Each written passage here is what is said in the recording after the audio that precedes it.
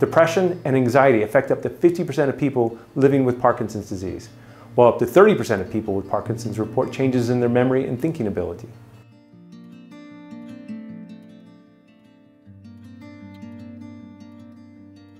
Hi, I'm James Beck, Chief Scientific Officer of the Parkinson's Foundation. Each person's experience with Parkinson's disease is unique, as are their symptoms and management strategies.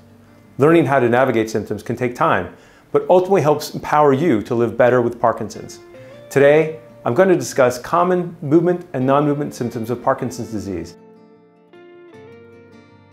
Parkinson's disease impacts the brain's ability to create the chemical called dopamine. This feel-good chemical has a big job. It helps the body move and stay coordinated.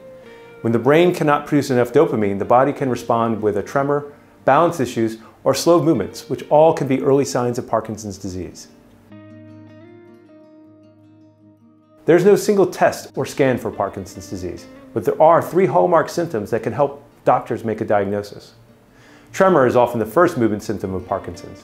About 70 to 90% of people with Parkinson's experience a tremor at some point in their disease.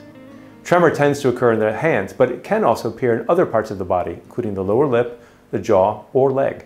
Bradykinesia, or slowness of movement, is another symptom of Parkinson's.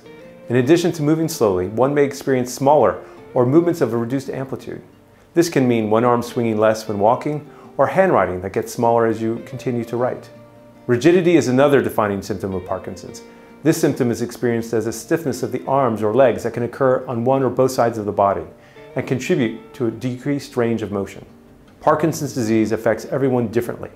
Though Parkinson's is diagnosed based on these primary movement symptoms, many other symptoms are associated with PD and may develop over time. Just like movement symptoms, non-movement symptoms are caused by an imbalance in the brain of not being able to produce enough dopamine. This chemical helps regulate our mood, and without enough of it and other chemicals, people with Parkinson's often develop anxiety, depression, and a myriad of other symptoms. Parkinson's disease is more than a tremor or trouble walking. Most people with Parkinson's also develop non-movement symptoms, Certain non-movement symptoms such as the loss of smell, constipation, and sleep disorders can occur years before a Parkinson's diagnosis. Some of the earliest signs of Parkinson's are found in the enteric nervous system, which are the nerve cells throughout the gut. As many as 80% of people with Parkinson's experience gastrointestinal issues. Parkinson's disease can also affect your mental health. Depression and anxiety affect up to 50% of people living with Parkinson's disease, while up to 30% of people with Parkinson's report changes in their memory and thinking ability. There are many other non-movement symptoms of Parkinson's disease, including dizziness and vertigo. Your doctor can help determine whether the symptoms you are experiencing are related to Parkinson's.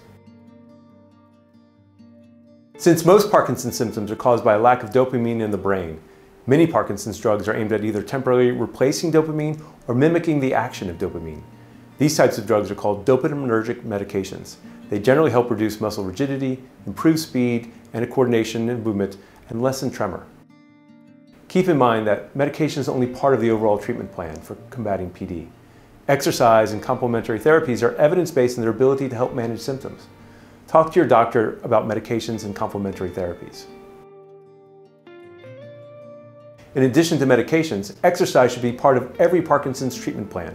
Research shows that exercise and physical activity not only help maintain and improve mobility, flexibility, and balance, but also ease non-motor symptoms such as depression or constipation.